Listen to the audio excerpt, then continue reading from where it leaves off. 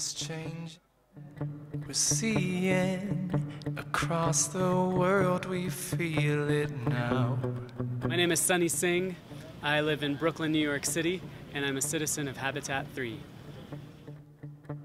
Katy, soy de Napo, Ecuador y soy ciudadana de Habitat 3. Je suis Thibaut de France et je suis un citoyen d'Habitat 3. 我叫叶麦琪，我 是王静丁，我来自我们来自中国，我来自中国绍兴，我来自昆明，我们是 Habitat Three Citizen。 An urban development of Cameroon in Central Africa. I'm city of Habitat Tree. My name is Olivia Caldwell. I'm from the United States and France, and I'm a citizen of Habitat 3. Dobar dan, ja sam Ilija Gubić iz Srbije, Habitat 3 građanin. Dennis Mohamed, Flora Uzele. Nairobi, Kenya. We are Habitat 3 citizens.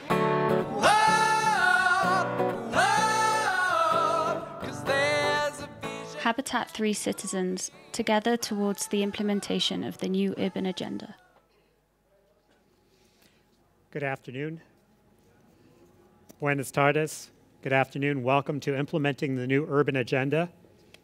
Before we get uh, much further along, just let you know that we will have uh, panelist presentations as well as opportunities for questions from the audience.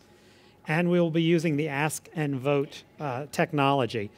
And so, if you'd like, you can actually submit questions online. Um, we'll be using this tool called Ask and Vote that allows you to submit your questions and upvote the ones you like the most.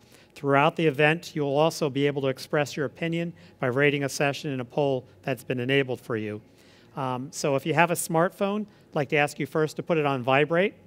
Second, um, feel free to connect to the internet and open up SCEWC app and click on the Ask and Vote option. If you don't have the app, open your web browser and go to www.smartcityexpo.com slash ask and vote. And you can find this session, which is implementing the new urban agenda, on that. And we ask you to feel free to submit questions as we go through uh, today's session. I am honored to actually be moderating this panel. I am Tom Dallessio, President, CEO, and publisher of Next City. We're a nonprofit organization with a mission to inspire social, economic, and environmental change in cities through journalism and events. We were uh, at Habitat 3 in Quito, as well as uh, at PrepCom 3 in Surabaya, and a number of the other preparatory meetings. Um, I was also thrilled to be a member of one of the um, 200 experts that helped develop the New Urban Agenda through the policy group. If you'd like to find out more about the New Urban Agenda and about Habitat 3, feel free to go to our website, nextcity.org slash habitat and use the number three.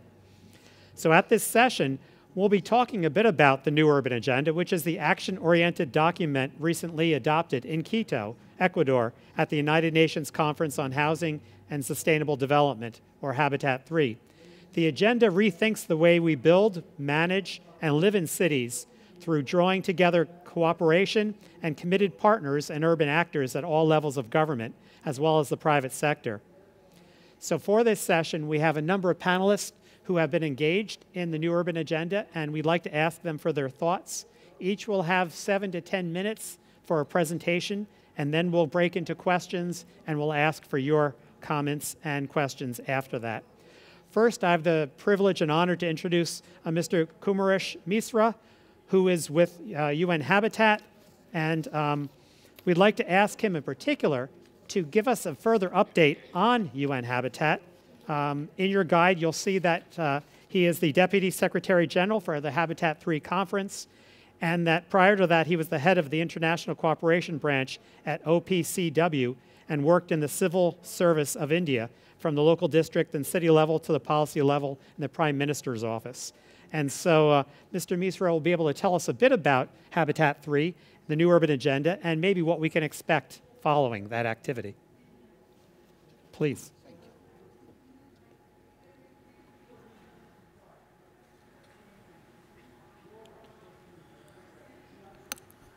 Thank you, Tom, for this introduction. And uh, thank you to all of you to have come to this session on implementing the new urban agenda. for me, it was indeed a great privilege to be part of the process of developing the new urban agenda. As you would all be aware, that when we refer to Habitat 3, we think in the context of Habitat 1 in Vancouver in 1976, in terms of Habitat 2 in Istanbul in 1996, and now we are talking about Habitat 3, which just took place last month in Quito, Ecuador. Now, what changed over the over the two habitats and the current habitat? One, the urban population, the rate of urban population grew rapidly. In the first habitat, it was more in terms of habitat, the population was mostly rural. Second, it did increase. And third, it has crossed over 50%. And quite often, you know, when we, when we think we, earlier we talked about world being a global village. Now 54% of the population living in, living in urban area, the world has actually become a global city, where the communication is much more between the citizens living in cities. So given this change which was taking place, and nobody managed it, the rush to urban, urban areas, the movement of population in urban areas, especially in developing countries, was something which was perhaps not anticipated at the level at which this increase has taken place. And what is happening more is that finally it has been accepted that you cannot stop urbanization. It's a process which is going on. Yes, in some parts of the developed world and in the GRULAC region, the urban population is already above 70 to 80 percent. But when you talk of the developing world, of Asia and Africa, where in parts it's still below 50 percent, but the rate at which urbanization is increasing everyone expects and sees it in reality that you have poverty levels increasing in urban areas, informal settlements are increasing in urban areas, housing has become a major challenge, economic activity is a major challenge, education, safety, especially of the vulnerable groups, have become a major challenge. And therefore, when the Habitat 3 was mandated to take place in 2016, by the United Nations, it was a time for all the countries to come together, think, and apply how do we move forward? How do we have a new urban agenda which is going to be focused and action oriented? Because they realized not to do anything was not an option. And therefore, the reality was that action had to be taken. Now, what changed more in terms of when, when doing the Habitat 3 was that earlier it was predominantly the national government that decided and took action. When the movement came to Habitat 3, it was realized that the sole responsibility is not only with the national government. It has to come down to regional and local governments. Plus, the stakeholders had a much larger and a bigger role to play. That only governments cannot change, even if you agree on something. To make it, make it practical and make it happen, you have to involve the stakeholders. You have to involve the local governments. You have to involve the regional governments. And so when you look at the, the new urban agenda that has been adopted, and Last year I was here, in perhaps in a similar room, and I think Tom was chairing that session. And I said, next year I was, I was inviting you to come to Quito and said, see you in Quito. This year, we have the new urban agenda. And all of you have supported the, the, the evolution of the new urban agenda in myriad ways as stakeholders, as citizens, as cities, through a very elaborate process in terms of the General Assembly of Partners, which brought the civil society, which brought the private sector, which brought the, the academia, they brought the, the, the women and, and, and, and children groups. They, they, they were all brought together. Plus, through UCLG, the participation of the local governments, the mayors. And prior to that, what was also done was that sufficient knowledge base was also prepared. Through preparation of issue papers, which involved the various UN agencies, then we also had the policy units, which prepared the policy papers as experts on various, so we had 10 policy papers, they're all on the website, which have details in terms of the of developing of the uh, new urban agenda. And then once you had this knowledge, the negotiation process was extremely elaborate.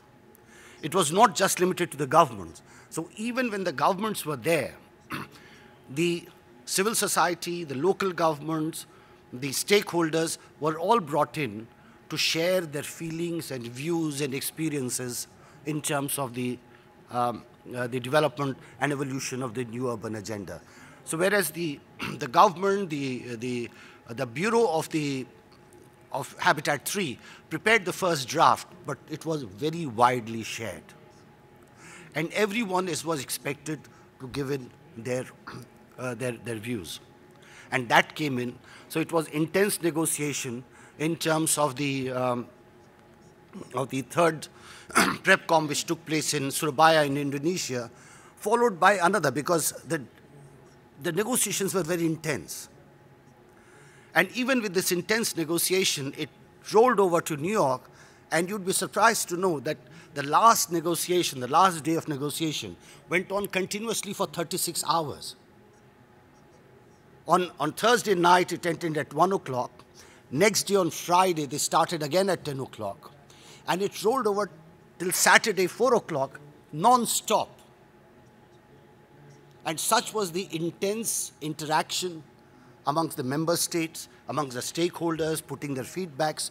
So after all this, we arrived at this new urban agenda. Now we have this new urban agenda.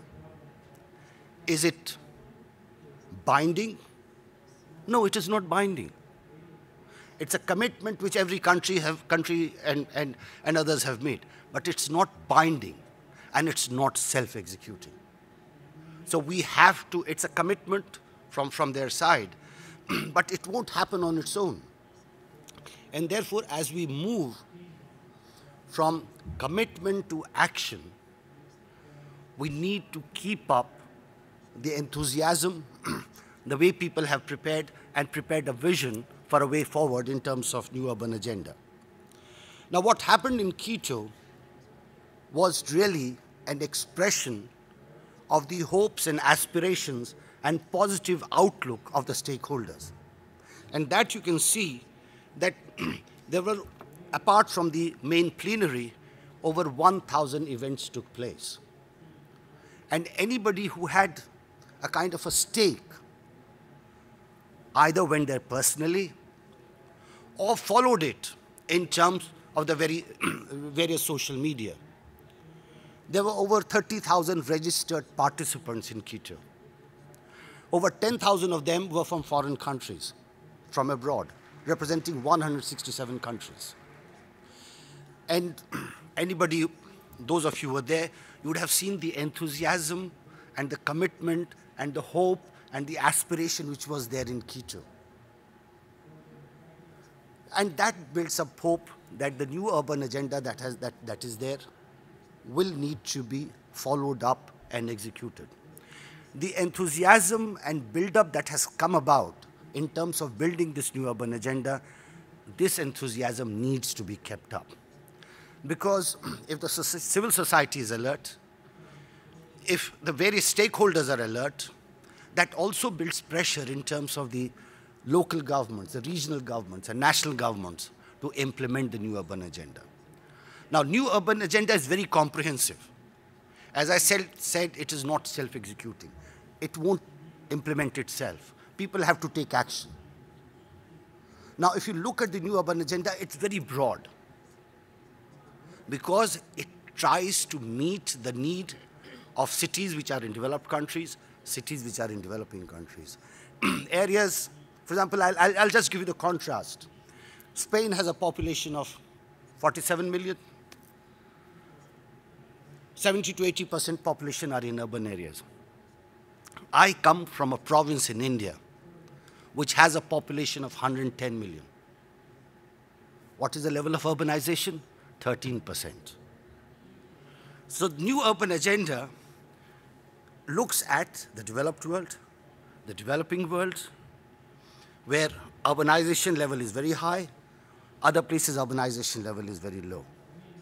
At places where informal settlements are very high, at other places where informal settlements are not there.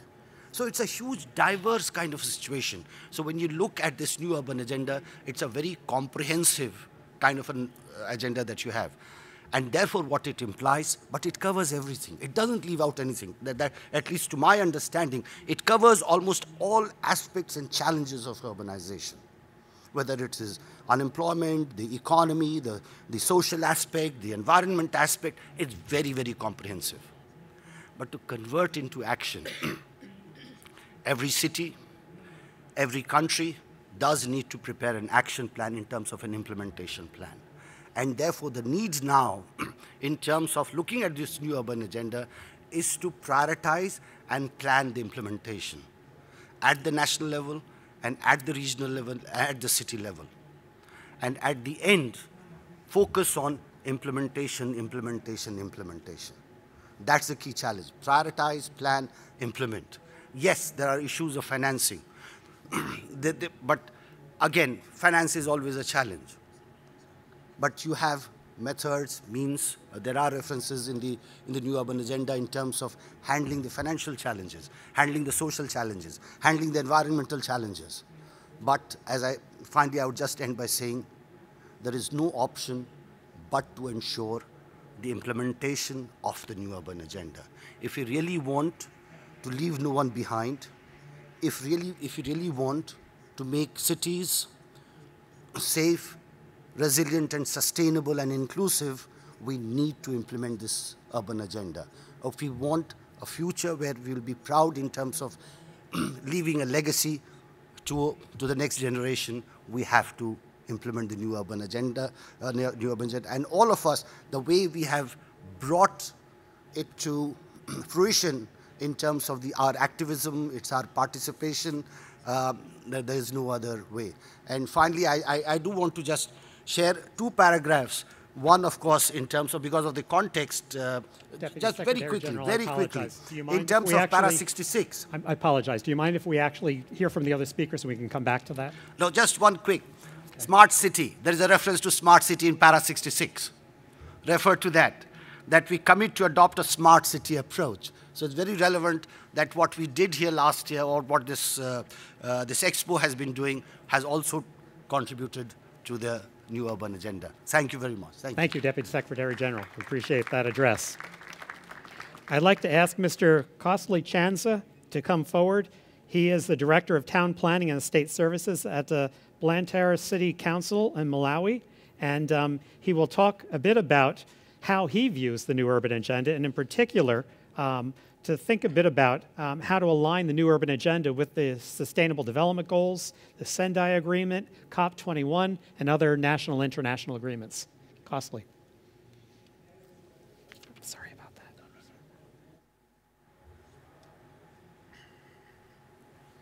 that. Uh, thank you. I'll continue for where my colleague has stopped. Uh, I think so much has already been said about the urban agenda that in 2016 uh, in Quito, the urban agenda was rolled out to provide guidance and recommendations for sustainable urban development for the next two decades, that's up to 2030. Uh, this urban agenda will guide all efforts around the urbanization of a wide range of actors, nation states, city and regional leaders, international development funders, United Nations programs, and civil society for the next 20 years. Inevitably, this agenda will also lay a groundwork for policies and approaches that will extend and impact far into the future. Uh,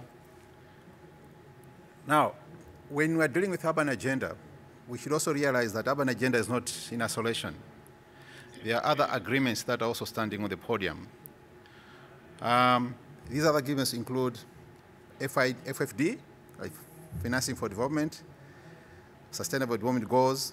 We've also got the United Nations Framework for Climate Change. We've got COP21. All these, in one way or the other, will affect the urban agenda. Now, for us to improve, to ensure that there's success in the urban agenda, we need to see what is already on the ground and see how best we can align them. My colleague has already mentioned about resources which are vital towards implementation of the urban agenda.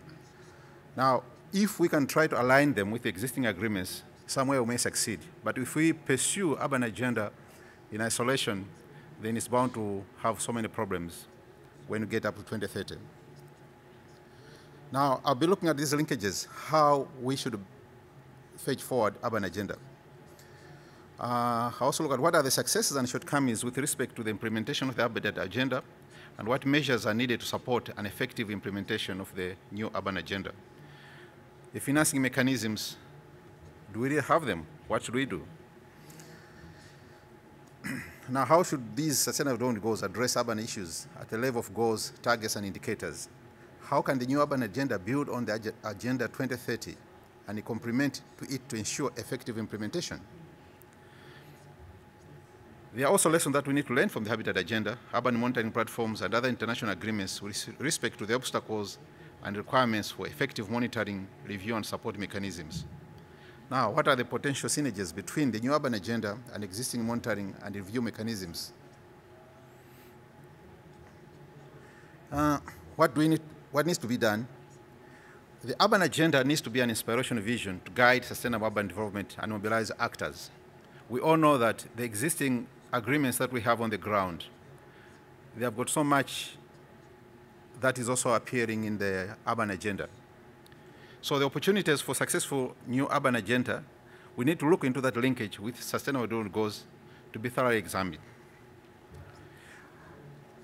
Since sustainable development goals touch on urban issues, local actors need to be strengthened so that they can support implementation of the SDGs through adequate capacities at the city level, financing mechanisms, and national urban policy frameworks.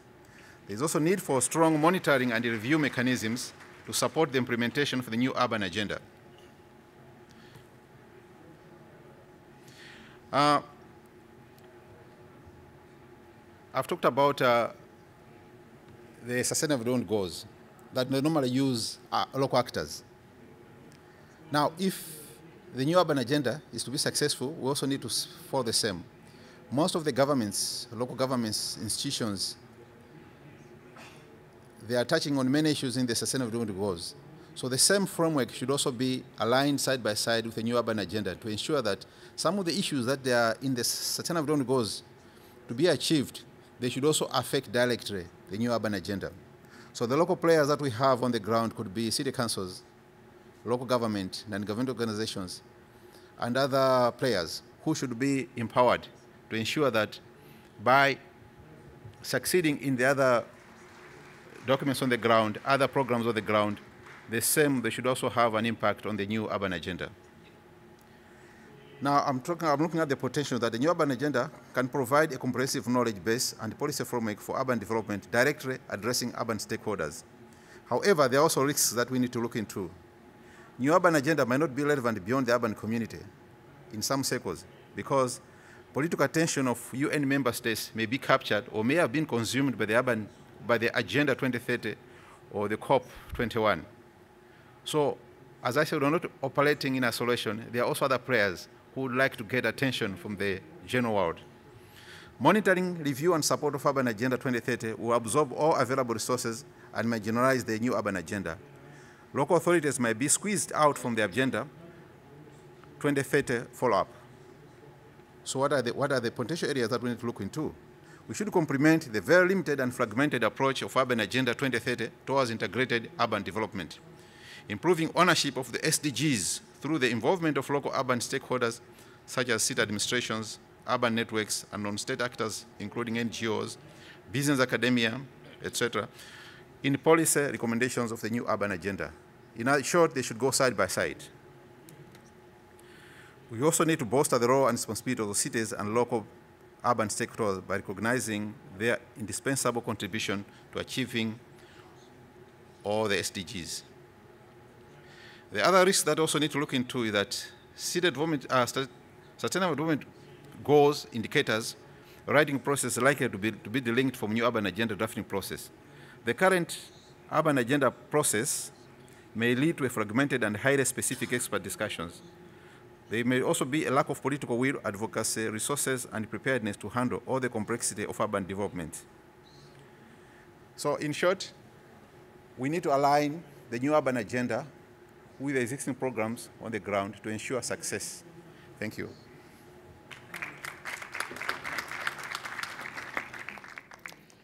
Mr. Edgardo Bilsky is the Director of Research for United Cities and Local Governments, UCLG. And uh, they just had their uh, major conference in Bogota um, just preceding Habitat 3. And I'd like to ask Edgardo to uh, talk a bit about how UCLG and their efforts, in particular their World Summit, helped prepare for Habitat 3 and what the results of that event were and how you see, in particular, your organization um, will advance the new urban agenda. And Edgardo will be speaking in Spanish. This is not a problem for you that if I speak in Spanish for most of you, okay? Then we move to Spanish, please. Eh, buenas tardes a todos. Eh, como me han presentado, tengo el honor de representar aquí a la Organización Mundial de Autoridades Locales, Ciudades y Gobiernos Locales Unidos, cuya sede está aquí en Barcelona que ha venido trabajando muy estrechamente con Naciones Unidas, particularmente con Habitat 3, eh, UN Habitat, en la preparación de la conferencia de Quito, pero también en todo el proceso de preparación de todos los grandes acuerdos internacionales que han sido mencionados ya, SDGs, ODD, eh, los acuerdos de Addis Abeba sobre el financiamiento del desarrollo, Sendai Framework for eh, Resilience. Eh, entonces, lo que nos parece importante destacar que mi introducción, lo que voy a intentar ahora presentarles, no es solamente la posición de CGLU, sino una coalición de todas las organizaciones mundiales y regionales de autoridades locales que han estado trabajando conjuntamente durante todos estos años a través de lo que se dio en llamar la Global Task Force of Local and Regional Governments, que representa a todas las organizaciones de gobiernos locales eh, existentes reconocidas a nivel internacional. Cabe destacar que en este largo proceso de tres, cuatro años de colaboración, uno de los momentos cúlmenes y que fue organizado ex profeso fue la segunda, el Congreso de CGLU en Bogotá, pegado back to back, como se dice en inglés, eh, a Habitat 3 para preparar el posicionamiento de las autoridades locales en Quito. Y en el marco de eso se realizó, la imagen que tienen ustedes ahí, la segunda Asamblea Mundial de Autoridades Locales y Regionales, que como verán, quizás reconozcan alguna de las figuras en la foto, reúne a los principales líderes mundiales, tanto de grandes como de ciudades medianas, de asociaciones de municipios, de presidentes de regiones, de la mayor parte de las regiones del mundo, que estuvieron presentes en Quito este, en una asamblea que fue presidida por Ban Ki-moon, por Joan Clos, en tanto que eh, secretario, director ejecutivo de Habitat 3 y el representante del gobierno de Ecuador. En este, eh, en este evento, las autoridades locales tomaron una posición común respecto a la agenda de Habitat 3 este, y se posicionaron en general frente a todo el debate internacional sobre las principales agendas de desarrollo, considerando que como lo ha señalado el colega de Blantyre, las, las agendas de desarrollo hoy día forman un conjunto que difícilmente se puede diversiar. No se puede hablar de la agenda urbana sin referir a los CDD, no se puede hablar de los ODD y de la agenda urbana sin referir a las políticas de financiamiento que fueron adoptadas en Addis Abeba en julio de 2015. Por lo tanto, hablamos siempre de las agendas de desarrollo, no solamente de la nueva agenda urbana, como un conjunto compatible y complementario. En ese sentido, esta adopción, el año, el año 2015-2016, marca una inflexión en las políticas de desarrollo, en las políticas multilaterales. Es la primera vez que la comunidad internacional adopta este conjunto magno de agendas donde se plantea una nueva transformación de los modelos de desarrollo para la humanidad, tanto de producción como de consumo, en un momento además en que por primera vez la mayor parte de la humanidad, como también ya has destacado, vive en las ciudades y que en las próximas dos, tres décadas va a pasar del 50%, del 54% de la humanidad prácticamente al 66% de la humanidad que va a vivir en ciudades tanto grandes, medianas como pequeñas. Sí. Ahí tienen un breve mapa recordatorio que hoy día la mayor parte de la humanidad en población urbana vive, en, por un lado, el 41% en áreas metropolitanas, el 36% en ciudades intermedias y el resto en ciudades pequeñas. En el mapa solo ven señaladas las ciudades grandes, las ciudades metropolitanas y las ciudades intermedias. Esto es parte de un esfuerzo que hemos desarrollado que se llama el Informe de Descentralización y Democracia Local de las ciudades que presentamos en Habitat 3. Luego, entonces, si estamos viviendo un momento de transición fundamental para la humanidad, que implica no solamente un cambio en, las formas de hábitat de la humanidad, sino un cambio cultural, una transformación de la visión que tiene la humanidad y de su posicionamiento en el mundo y frente a la naturaleza. Y que estas agendas están íntimamente relacionadas. Se trata entonces no solamente de pensar una agenda que pueda ser desarrollada desde los estados, ni siquiera solo desde las ciudades, sino que requiere una colaboración, una alianza muy estrecha de todos los actores que conforman las políticas de desarrollo, tanto gobiernos nacionales, organismos internacionales, gobiernos locales como las comunidades. Nosotros agrupamos este concepto en una alianza que llamamos a co-crear, es decir, a trabajar conjuntamente en la construcción de la nueva agenda urbana, en la implementación de la nueva agenda urbana. O sea, co-crear las ciudades y el futuro urbano. Creemos que desde, las ciudades y territorios donde están emergiendo experiencias novedosas, innovadoras, transformadoras, que realmente pueden contribuir de forma más radical a implementar esta ambiciosa agenda, de transformación de los modelos de producción y de consumo. Muchos de ustedes han escuchado hablar los esfuerzos que están realizando desde muchas ciudades para implementar las políticas de eh, eh, cambio o de adaptación, eh, de adaptación y mitigación del cambio climático, mejoramiento de transportes, de edificación, políticas de inclusión social, políticas de respeto de la diversidad cultural y sobre todo políticas de implementación y respeto de los derechos humanos. Creemos y hemos hecho una argumentación muy fuerte para colocar el concepto del derecho a la ciudad como uno de los temas centrales de la nueva agenda urbana. Se lo menciona, y esto ha sido un logro importante de parte de la comunidad internacional, tanto de la sociedad civil como de los gobiernos locales y de muchos gobiernos que han luchado por eso, pero es necesario profundizarlo y desarrollarlo. El concepto del derecho a la ciudad implica no solamente el respeto de los derechos, sino el acceso a servicios básicos, a una vivienda decente, la profundización de la democracia local. E, está en el corazón del concepto mismo de co-crear las ciudades y territorios. Entonces, creemos que es el derecho a la ciudad el que puede servirnos de guía, de orientación, para crear lo que nosotros convocamos, llamamos a un nuevo contrato social entre las autoridades locales y la ciudadanía para, para realizar este cambio tan profundo que aspiramos todos.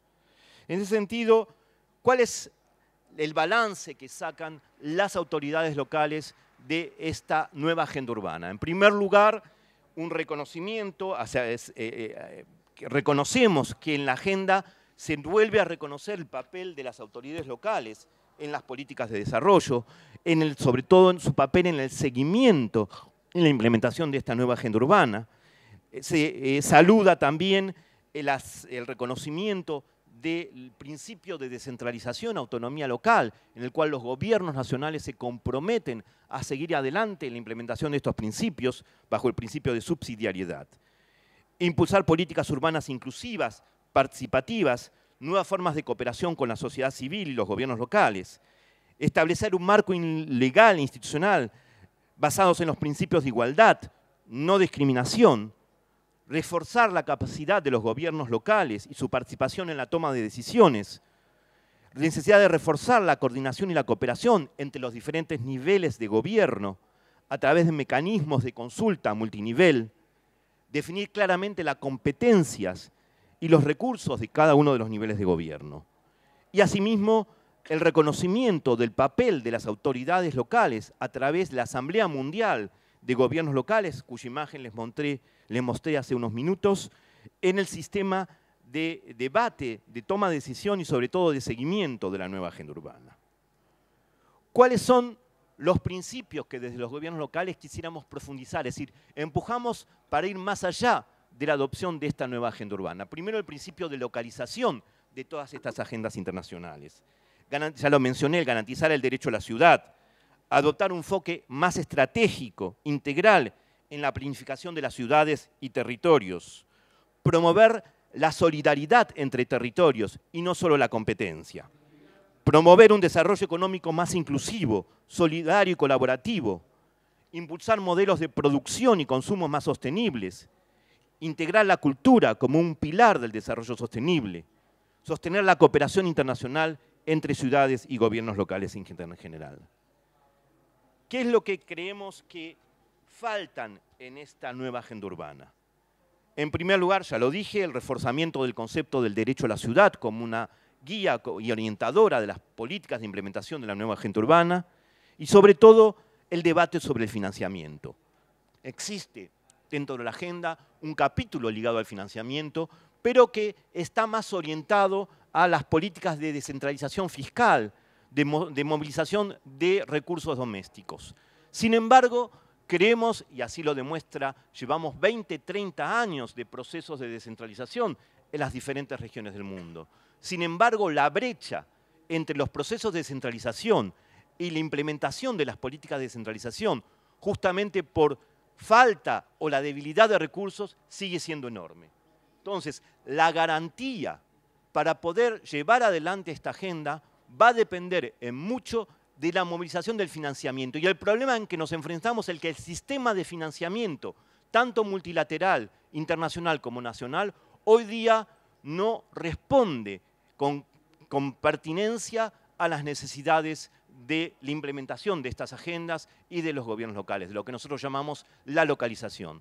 Por lo tanto, y ese es uno de los desafíos que tenemos enfrente y que queremos empujar desde los gobiernos locales, es trabajar sobre ver cómo podemos transformar los mecanismos de financiamiento, tanto a nivel nacional, local, como incluso internacional, para poder movilizar recursos internacionales al financiamiento de la actualización de estas agendas. Y esa será uno de los principales desafíos en la próxima etapa. Muchas gracias. Muchas gracias. Thank you. I especially like that idea of co-creating the future. Thank you. Uh, next, we have uh, Mr. Nicholas You, who will talk a bit about um, implementation of the new urban agenda. Uh, Nicholas is with the Guangzhou Guangzhou uh, Institute for Urban Innovation. Um, he's also um, an executive with Citiscope and one of the co-chairs of the uh, GAP process, um, heading up the media effort for that. Nicholas. Thank you, Tom. Um, well, I suppose my biggest claim to fame is that I participated in Habitat 1, 2, and 3.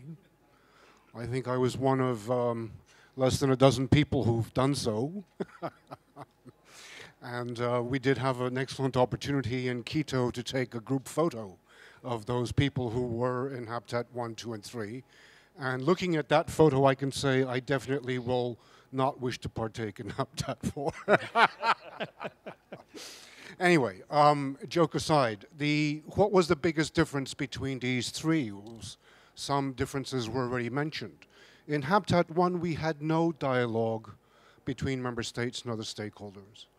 I was then representing the NGOs. I was representing uh, Swiss schools of architecture in Vancouver, and we were stuck on a campus, many, many miles away from where the conference center was being taken. And uh, the conclusion of Habitat 1 is that we should do everything we can to slow down or arrest urbanization. By Habitat 2, I had already been working for UN Habitat for a number of years. Um, it was absolutely clear to us that we had to overcome this negative view of urbanization and that we had to give urbanization a positive twist to show governments, to show all the stakeholders that indeed urbanization can bring about a lot of benefits. And I think we were quite successful in doing that, and we were quite successful in bringing governments together with stakeholders, especially civil society and local authorities, in order to exchange views and engage in a dialogue. However, one actor refused to come to Habitat 2. I remember when I knocked on the door of the World Business Council for Sustainable Development, which is about 150 of the world's largest companies committed to sustainability, they told me in 1994 they were not interested in urban. So the biggest difference for me in Habitat 3 was that business came on board and business came on board in a big way. And I think that has everything to do with the demographics. It has everything to do with the fact that in the next 35 years, humanity will most probably invest more money in human settlements than it has since the beginning of human history until the year 2000. So in the next 35 years, we expect the economies of the world to invest more money in human settlements than they have since the beginning of history. And that is, is both an encouraging, exciting prospect at the same time a very scary one. Because if we don't get it right, and I would argue if we don't get it right in the next five to seven years to really chart out a path for all of that investment, we are going to be in very, very deep trouble. So to answer your question directly, what are the challenges that we are facing in the implementation of the new urban agenda and the urban dimension of the SDGs? For me, the question is without a doubt, further to what you mentioned on financing, the second biggest challenge will be capacity building.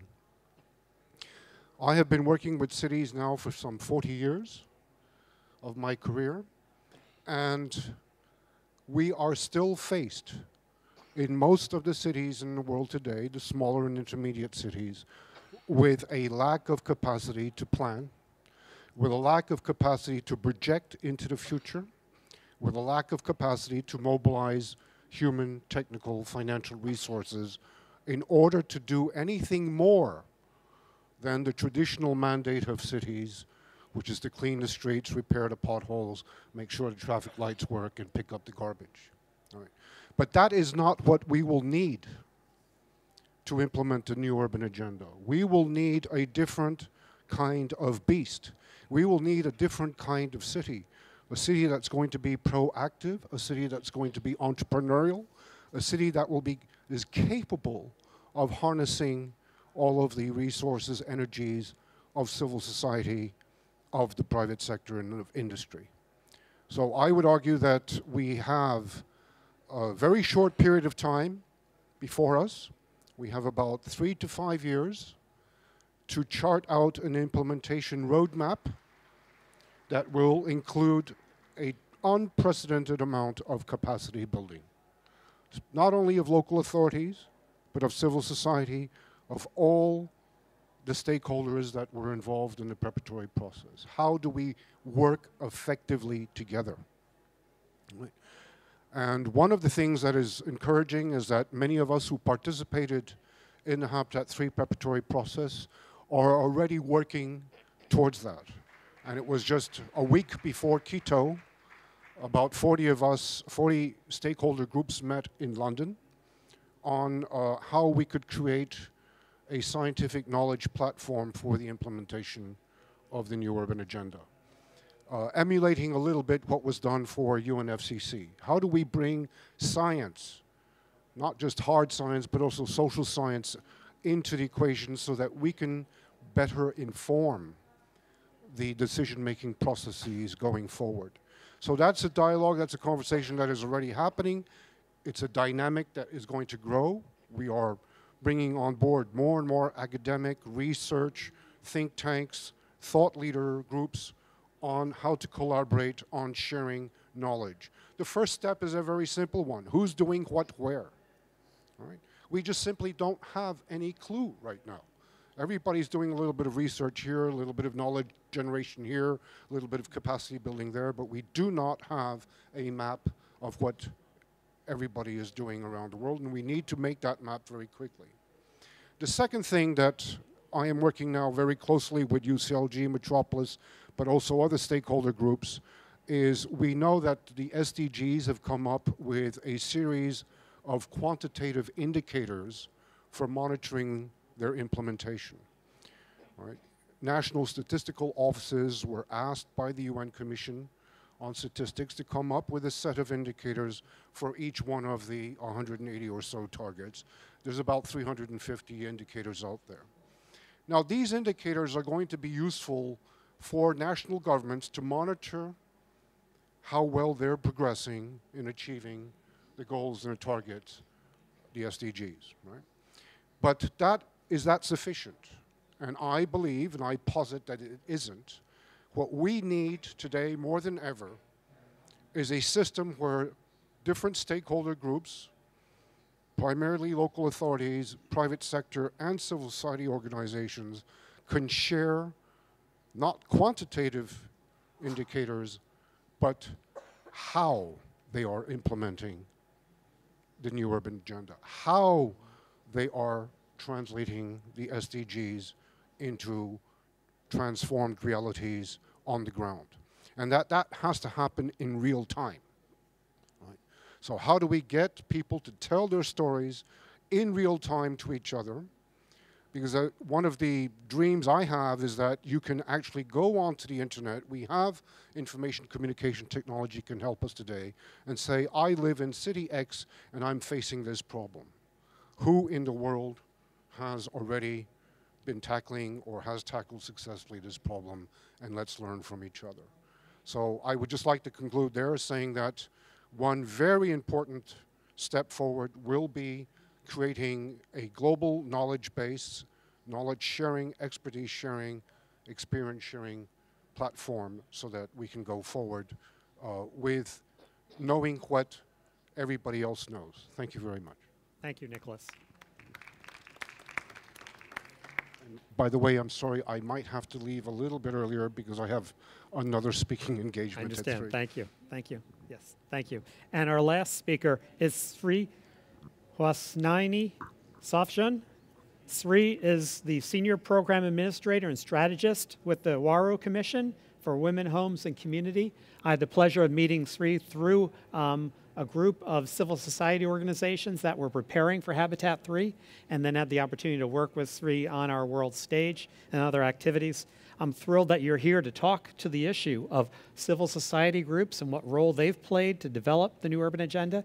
And I'd like to ask you to talk a little bit about what you hope the New Urban Agenda will produce for civil society groups, in particular for women um, and for other organizations that have not been at the table in previous discussions.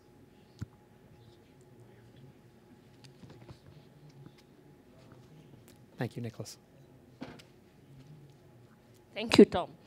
Um, I think this is an opportunity um, to actually share, not only from the civil society, but I think I would like to specifically mention about, you know, the women. Uh, I represent the women, and the Huairou Commission is a partner uh, in the um, process of Habitat 3, uh, representing the women group. Uh, but within women itself, we have um, stakeholders from all other civil society group. You know, uh, we have grassroots women, indigenous people, farmers, youth, academia, researchers, and all that. So in that, I think I speak on behalf of all the civil society. Now, the um, specifically on the women, because uh, I think this time um, the uh, new urban agenda make a lot of reference to gender responsive. You know, that word is very important. It's not gender sensitive because gender sensitive is just sensitive, but responsive is actually urging you to take action, to make things happen that could bring gender equality and women's empowerment in the process for, uh, for us to uh, implement the new urban agenda and to achieve sustainable development goal number 11. Yeah? uh, because the new urban agenda is actually about implementation of the uh, SDG number 11, but bringing also the intersectionality with other SDGs, including SDG number 5, which is, which is gender equality and women's empowerment. Now, um, during the um, Habitat Tree um, con conference, in fact, before the Habitat Tree conference, we have the uh, Women Assembly. And the Women Assembly, um, we have 1,000 participants uh, from at least 40 countries participating in that Women Assembly, a one-day affair. And in that um, assembly, the women highlighted nine key thematic areas within the new urban agenda that, uh, that, that, are important to them in terms of implementation, uh, monitoring, and making sure that we, know, we achieve the new urban agenda as a whole. Yeah? So those uh, areas are women's political agenda and representation in urban uh, decision making, women's economic empowerment, decent job agenda, unpaid care and domestic work, and women in the informal economy, city safe for women, which means that you know safe for public spaces from free um, of violence, promoting grassroots women's leadership and agenda, uh, recognizing and resourcing rural-urban links, securing access to and control over land, property, and housing, taking leadership on the environment, climate change, and resilient, designing, planning, and monitoring gender-responsive cities, and securing women's life and opportunity in post-conflict contexts, including refugees. And that last point usually is a point that many people forget, but this is very uh, important uh, as you all know right now, yeah? Now, in this, in this conference, you know, the challenge is how do our technocrats actually help create or help support the, um, the enabling environment for us to achieve what we want in the urban, new urban agenda. Because we all have our desires, we all have our want, we have our action. So now I, I bring a challenge to all of you, the technocrats out there. You know, the woman has identified five action, you know, and the women represent all the, um, the cross-sector of uh, stakeholders group, the civil society. And this is linked also with what Nick was mentioning just now about having a space for um, an urban solution, that, you know, real-time solution on, and all that you guys are very smart in ICT. You know, how do we do that? How do we get that to happen? Yeah, uh, I think we have, you know, somebody from Smart City uh, that uh, work in China that has like work with 100 cities, you know. How does it, how do you make this happen? You know, and how do you make this to empower women and their communities? Um, you know, when we want to um, develop and make available to all city knowledge, tools, and lessons from successful practices. That's what Nick mentioned just now. Um, promote initiatives that recognize women and girls as essential agents of change in a multi-stakeholder, multi-sectoral, and multi-level partnership um, informed by existing global frameworks of safe cities free of violence against women and girls and, um, and also you know, the need for public space. Um, promote holistic, sustainable, resilient development through integrated approach, linking the conservation of natural resources, disaster, and climate resilience to building sustainable livelihood for urban and rural communities establishing women's platform and network to exchange best practices on resilience building in conflict and post-conflict situation between women's group and also with other supporting group. I mean, these are some of the action. But, um, you know, with the technology, you can help make this process and action efficient, effective. And we talk about resources. So resources is not only money, but if you bring a technology that could help bring all this, and get us to implement and achieve what we want as we list and as we desire in the new urban agenda, that's what we want. Thank you. Thank you, Sri. A number of the questions that were raised um, through the ask and vote actually have been answered, including issues about implementation, measurements, um, about the topics negotiated, and the whole place of smart policies uh, in this discussion. Um, are there any qu- quick questions from the audience? We have about two minutes. Yes, please come to the microphone. Identify yourself if you wouldn't mind.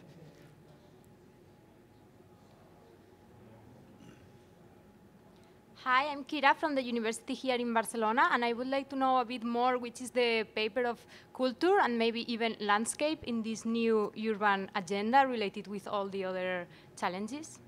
So, if I understand the question correctly, the question of landscape and how design will fit into the new urban agenda?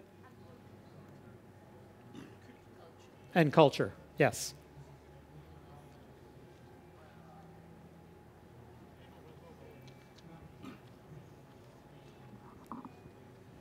Okay.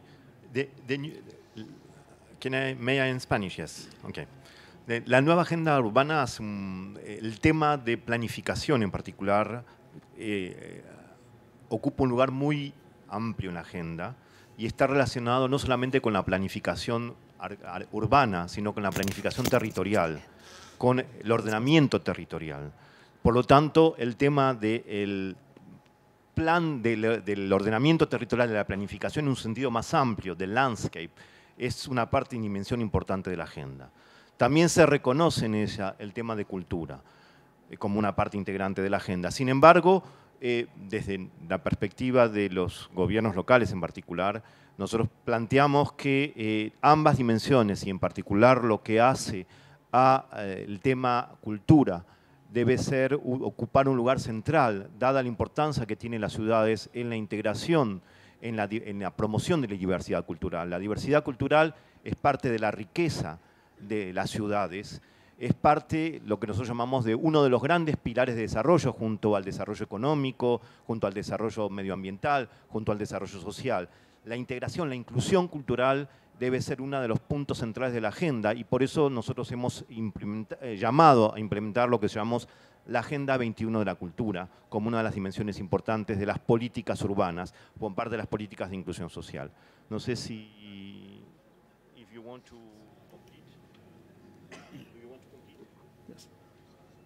think you're on. We're just on. Uh, In, in terms of the, uh, the issue of culture, I think um, the new urban agenda takes into account, and if we really see it, that there's a very strong statement in terms of culture, not in terms of just the historical cultural artifacts, but culture in all its dimensions, in, in terms of human beings, in terms of their interaction, in terms of their knowledge, in terms of the living. So it's a very broad aspect of culture. And um, what it also highlights, the new urban agenda, in terms of, and we had very strong inputs uh, from um, UNESCO in this. And as a matter of fact, one of the feedback they did, they, they had a uh, big conference, and you, you may wish to go into their website in terms of even they produced a book. They had a big conference in Hangzhou in, terms of highlighting the importance of culture in the new urban agenda. so the new urban agenda takes into account the issue of culture in terms of its very broad dimensions, and it's a it's a proponent. It's a kind of uh, uh, something which has been accepted in the new urban agenda in terms of giving action and giving uh, taking inspiration from culture in all its dimensions. And what got me so excited about the new urban agenda, particularly about Habitat 3, was about two years ago. I had a dinner um, and had a conversation with Dr. Clos, the uh, Secretary General of UN Habitat, who started talking about the Congress of Athens. So, those of you who know Dr. Clos, of course, uh, former mayor of Barcelona, um, radiologist by training, um, now is heading up UN Habitat, is starting to talk about the seminal document that architects um, swear by. And I just found that fascinating. Well, Congress of Athens, for those who may not know, was developed in the 1920s and 1930s by Le Corbusier and other architects who sailed around the Greek islands and developed this manifesto, if you will, about how cities should be designed. And many of our cities around the world followed principles in the, that were developed in the, the, the uh, Charter of Athens. Um, and yet we see today cities don't work according to many of those precepts going through. Um, and it, whether it's culture, whether it's climate, whether it's economics. Um, and so we need a new um, manifesto, if you will, a new Congress um, to actually put together this uh, charter going through. And um, I understand um, that people like Richard Sennett, Saskia Sassen, and others are engaged in actually helping to develop what could be a new charter to actually help advance. So anyone in the audience has an interest in landscape, in design, in culture, we ask you to stay tuned, be involved, um, and be engaged in the new urban agenda. I'd like to close our conversation and ask each of the panelists to answer this question. Uh, the next step for many of us is to look to where will we be in a year or two? How do we start measuring the effects of the new urban agenda? And many of us are anticipating World Urban Forum 9 in Kuala Lumpur in, in uh, February of 2018. Um, so at that event, it will be another opportunity to engage mayors and other urbanists uh, following Habitat 3. What do you expect out of World Urban Forum 9? And what plans are being made to ensure that it moves the agenda of advancing um, the Sustainable Development Goals and COP21 agreements? So maybe, Kumaresh, if you wouldn't mind, tell us a little bit about what you anticipate World Urban Forum 9 will be from the UN Habitat standpoint. And then we could ask um, the other panelists what would they like to see come out of World Urban Forum 9 and how do we start holding mayors and others accountable to actually sign agreements and implementation devices to make the new urban agenda a reality. Now, the World, World Urban Forum, of course, is, is seen as a first step in terms of taking stock of what actions should be taken towards implementing the new urban agenda. But prior to that, a couple of things are also happening. If you really look at the new urban agenda, there is going to be a dialogue in the 71st session in terms of towards implementation, the role of UN Habitat, in terms of the progress that you're making. Again, in, in the next General Assembly, in the, in the 72nd session, there is again going to be a dialogue in terms of the role and responsibilities and financing of new UN Habitat. So in terms of this is a preparatory process towards implementation in terms of the World Urban Forum. In addition, as Mr. Lau had um, mentioned, is in terms of the issue of measurement, in terms of achievement. So that is also going to happen. So in terms of my assessment, what, what I see, that in terms of the development of urbanization, two years is a very short time to make an impact. But two years is sufficient time to prepare in terms of plan, identify in terms of your goals, identify your measurements, as was mentioned, that yes, the Sustainable Development Agenda would have certain measurement for, for uh, goal number 11. That may not be sufficient for all national level. It may not be sufficient for the municipal level or the regional level. So we might have to deal with additional kind of measuring measurements so that we can ensure that we deliver it. So there are still a number of steps. So I, I, my own sense is that the World Urban Forum would be an excellent platform in terms of having everything ready. People, the way they prepared the national reports, now perhaps they'll have their national implementation plans, the regional Great. implementation plans, the local implementation plan, and, and some of the issues that have been raised uh, in terms of financing, in terms of measurement, I think we should have the answers so that we, we start off well and we keep running. Thank you. Thank you. Yeah, thank you. Uh, I think uh, I'll repeat what I've said earlier on, that uh, between now and the time we have the World Urban Forum, it's quite important for us to do the housekeeping issues. We need to align the new urban agenda with other international agreements. We've talked about Sustainable Development Goals, talked about COP21, and so on and so forth. Most of these agreements, they're also touching so many issues that are found in new urban agenda.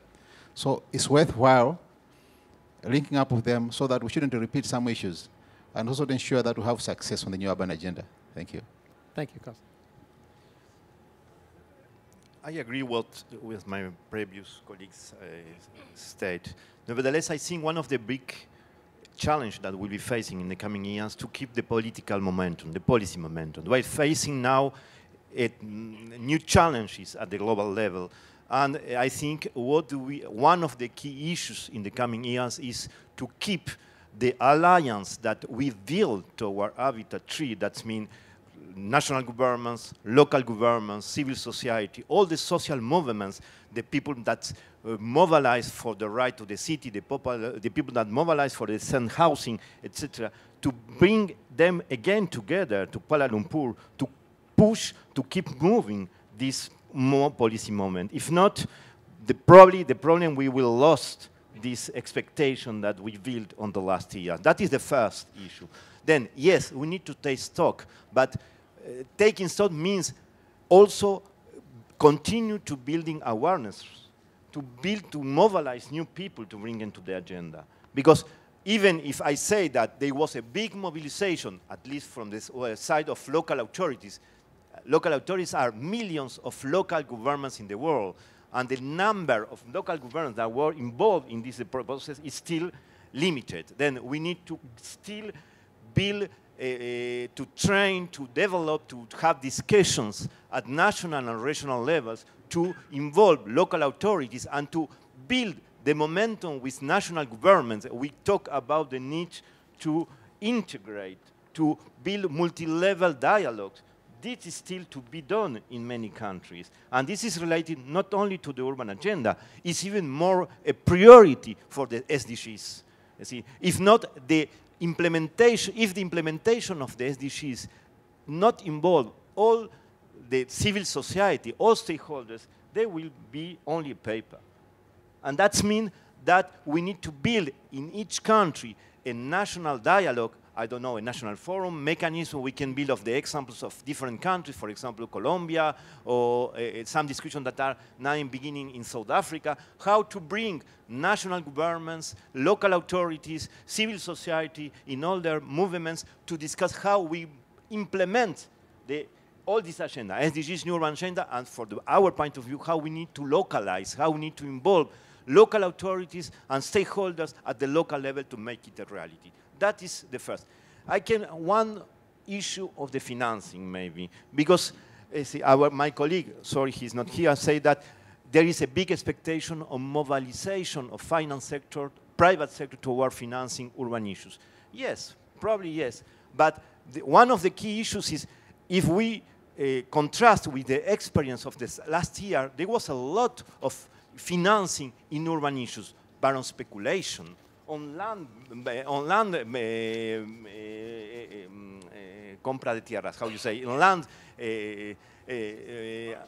market. And there it was not on basic service. One of the big problems that overall least developed countries are confronted that they have not investments in basic service, in access to water, access to sanitation. Most of the big cities in the world have not access for most of the population so, so uh, on sanitation. And this is critical for the future.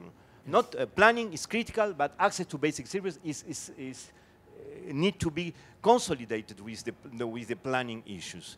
Then, uh, and the other issue is related to financing is how to make this financing more sustainable. Because if they continue to invest in the way they invest in the last uh, half century, we are going to confront to a, a new big problem in the sustainability of these policies. Thank you very much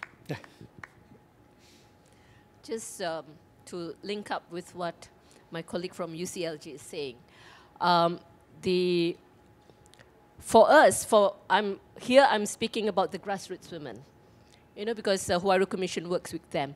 So for us, in the next one year, we want to make sure that the grassroots women are organized and to have this um, partnership with their local government. The thing is that we recognize, or we found out that there are grassroots women coming from cities that are not aware of the new urban agenda.